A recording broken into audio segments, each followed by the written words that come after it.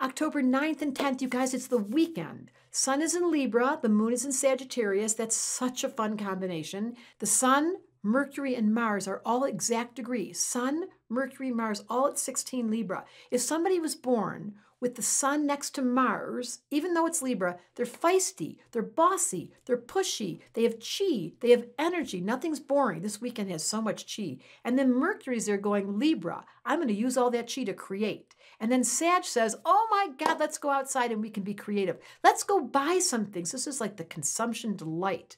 Libra and Sag. Sag says spend, Libra has the taste buds. There are two planets, Moon and Venus, in Sag, not just one.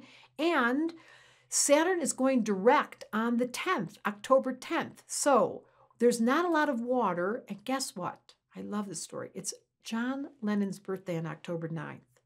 I always imagine, here's one of my favorite songs Thoughts.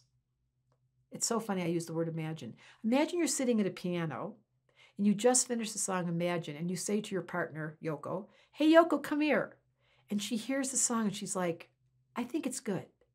That's what it's like to have that much Libra, where you're a poet, where you're a writer, and the moon in Sag says, share it and say it. This is a big energy weekend, you guys. Feel it. And know that in honor of John Lennon, who was definitely one of my heroes when I grew up, he had such a Libra, gentle heart that wanted so much for the planet to change.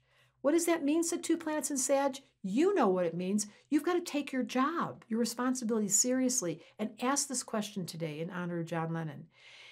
What can I do? Is it a sit in? Is it writing a song? Is it thinking about peace? What can I do in his honor to make a difference? This planet is so desperately needing every one of us. Astrology Answers wanted me to tell you it's a philosophical weekend. The moon's in Sag. It's fun. The energy's big. We're having generous energy. And in the name of honesty, said the Libra, how am I helping? I'm going to never stop asking that question, you guys, because Astrology Answers told me to ask you, what can I do in the name of this joy on this weekend to be generous and kind to others? Love that question.